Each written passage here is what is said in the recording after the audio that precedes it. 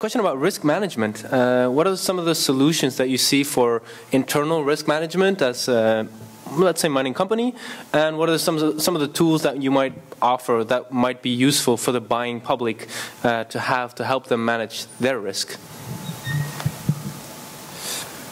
I'll mention one thing. Uh, if you're talking about for miners, um, there's lots of tools out there that you can use to help uh, analyze what's going on with your equipment and uh, manage the risk. Obviously, the the worst thing to happen is for you to have a bunch of downtime and not know about it.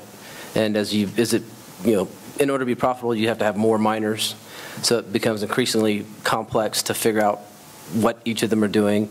Um, so risk management uh, can be accomplished through good tools, which uh, there's not a whole lot of them out there. One, we are actually building one tool set, Mining Monitor, and um, I think that's something to look at.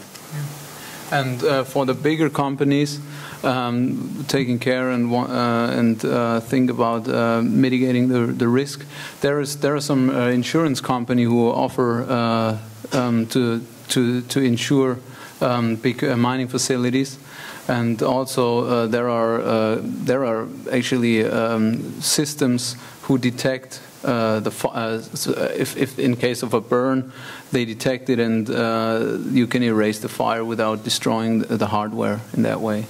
I mean, if there is fire in the in the farm, that's uh, the worst case. But I, totally, people want to be secure also in these kinds of cases and don't want to destroy the whole farm.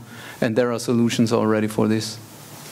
Uh, so another aspect of the risk management for security, which we've seen with Mt. Gox, or anybody that handles your bitcoins, you need to, as a developer or as an operator of a service, you need to really manage your risk in terms of what you expose the bitcoins to. Um, your, for example, your hot wallet or your cold, cold wallet, and ways to help. You need go, good coding practices, which we saw with Mt. Gox not following any of those.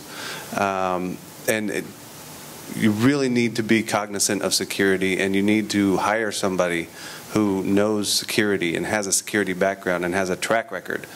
Um, I've seen a lot of people think they are good at security and so they go ahead with what they think are good practices and they don't account for the edge cases, which is where most of the hacks come from.